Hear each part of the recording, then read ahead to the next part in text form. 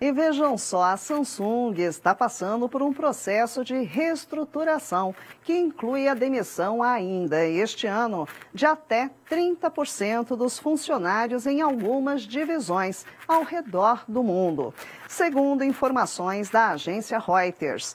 Essa medida teria como objetivo aumentar a eficiência e reduzir custos em um cenário econômico desafiador. A lenta recuperação na produção de chips seria um dos principais motivos para esse movimento. Os detalhes estão na matéria que está em nosso site e que você consegue acessar pelo QR Code que aparece na sua tela.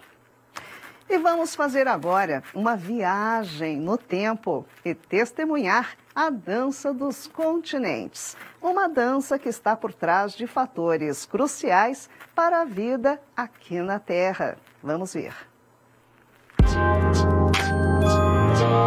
Estamos vendo agora uma animação sem precedentes de 40% da história do nosso planeta. Ela foi criada por cientistas da Ocean University na China, reconstruindo a movimentação das placas tectônicas da Terra ao longo dos últimos 1 bilhão e 800 milhões de anos. Esse trabalho foi publicado na revista Geoscience Frontiers. Nas cenas vemos um mapa familiar do mundo atual que vai voltando no tempo. Então, a Índia se move rapidamente para o sul, enquanto partes do Sudeste Asiático se deslocam, formando o antigo continente de Gondwana no hemisfério sul indo para cerca de 200 milhões de anos atrás, durante o período dos dinossauros. Vemos que Gondwana se uniu à América do Norte, Europa e ao norte da Ásia, formando o supercontinente Pangeia. Continuando a viagem no tempo, podemos ver que Pangeia e Gondwana surgiram a partir de colisões de placas mais antigas. E antes havia o supercontinente Rodínia, que remonta de um supercontinente ainda mais antigo, chamado Nuna, configurado cerca de 1 bilhão e 600 milhões de anos atrás. A Terra é única no sistema solar por possuir placas tectônicas, que são grandes fragmentos da superfície rochosa que se movem,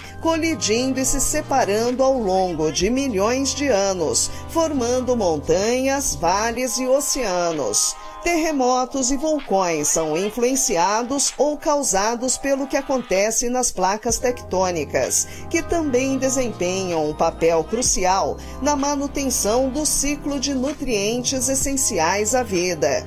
O movimento das placas tectônicas traz à superfície rochas com elementos cruciais para a vida, como fósforo e molibdênio, que são ingredientes para o DNA e as proteínas. Além disso, essas rochas ajudam a controlar o clima da Terra ao longo de milhões de anos.